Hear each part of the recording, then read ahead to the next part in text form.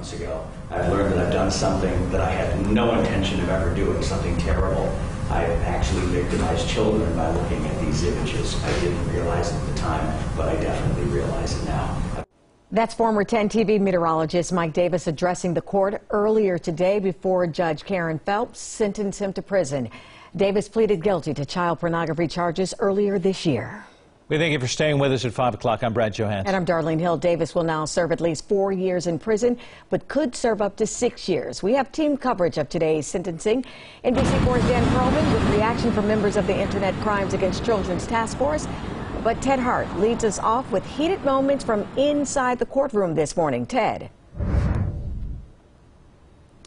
Yeah, the judge said more than the 16,000 images involved in this case, it was the time that she found uh, more troubling. The seven years that Mike Davis spent downloading, collecting these images, and then hiding it from family, friends, and coworkers.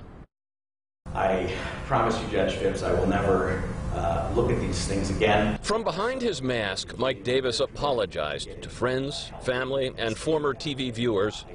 But the judge pointed out that until today, Davis had never voiced concern about the child victims in the 16,000 pornographic images he had downloaded over a seven year period. You refer to the children as its, and you compare the collection of offensive, illegal pornography of the abuse and repeated abuse of children to the same as toys, comic books, and wine. Davis was arrested last September and was promptly fired from his job at 10 TV as chief meteorologist.